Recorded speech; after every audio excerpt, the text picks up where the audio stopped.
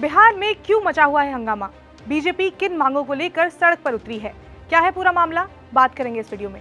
नमस्कार, मैं हूँ स्वर्ण और आप देख रहे हैं अनकट। तो सबसे पहले ये जानते हैं कि आज यानी कि 13 जुलाई को बिहार में क्या कुछ हुआ।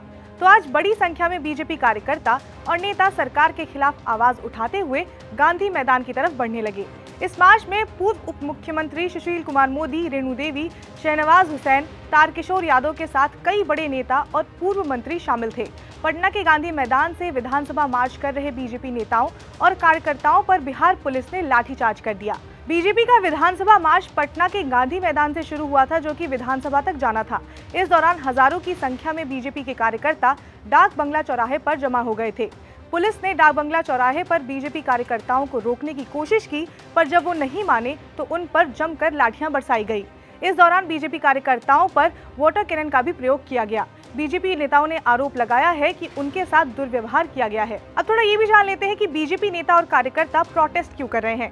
तो तीन ऐसे मुद्दे हैं जिनको लेकर बिहार में बीजेपी लगातार सरकार को घेर रही है। पहला जो मुद्दा है, जो सबसे ज़्यादा गरमाया हुआ है, वो है तेजस्वी यादव की गिरफ्तारी का। लैंड फॉर जॉब मामले को लेकर सीबीआई ने चार्जशीट फ़ाइल की, जिसमें बिहार के उप मुख्यमंत्री तेजस्वी यादव का भी नाम शामिल है। जिसके बाद बीजेपी का कहना है कि वो जल्द से जल्द इस्तीफा दे। दूसरा, नियोजित शिक्षकों को राज्यकर्मी का दर्जा देना और तीसरा 10 लाख लोगों को सरकारी नौकरी का जो वादा किया गया था, वो पूरा करना।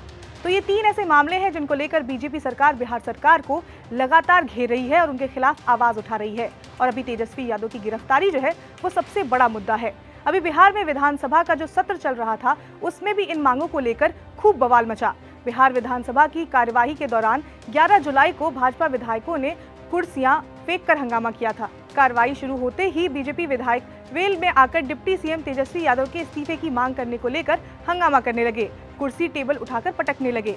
इस बार विधानसभा के सत्र में भी खूब बवाल मचा है और इसी को लेकर आज बीजेपी नेता सरकार के खिलाफ मार्च निकालने गए थे। तेजस्वी यादव के इस्तीफे को लेकर विजय कुमार सिन्हा का कहना है कि नीतीश कुर्सी बचाने के लिए डिप्टी सीएम को बर्खास्त नहीं कर रहे हैं। आरजेडी के सहारे सीएम है। भ्रष्टाचार पर ज़ीरो टॉलरेंस का ढोंग करते हैं। चार्जशीटेड भ्रष्टाचारी डिप्टी सीएम तेजस्वी सदन में कैसे आ जाते हैं? उनको इस्तीफा दे देना चाहिए। सदन में स्पीकर सत्ता पक्ष के इशारे पर हम लोगों को बोलने नहीं दे रहे हैं। सदन हम चलने नहीं देंगे जब तक हमारी मांग जो है वो पूरी नहीं हो जाती, जब तक तेजस्वी को बर्खास्त नहीं किया जाता है। इस मामले को लेकर बिहार के पूर्व उप मुख्यमंत्री सुशील मोदी का कहना है कि विपक्ष लगातार सरकार से सवाल कर रही है। पिछले तीन दिनों से विधानसभा में सरकार जवाब नहीं दे रही। इसके आगे सुशील मोदी ने कहा कि इस सरकार ने शिक्षकों और बिहार की जनता के साथ गद्दारी की है। उन्होंने आगे कहा कि मुख्यमंत्री इतने लाचार हो जाएँगे ये हमें पता नहीं था। उनके उप मुख्यमंत्री का नाम जो है वो चार्जशीट में है। एक तरीके से आरोप जो है वो तय हो गया है। इसके बाद भी वो कुछ बोल नहीं रहे हैं, अपने उप मुख्यमंत्री का इस्तीफा नहीं मांग रहे हैं।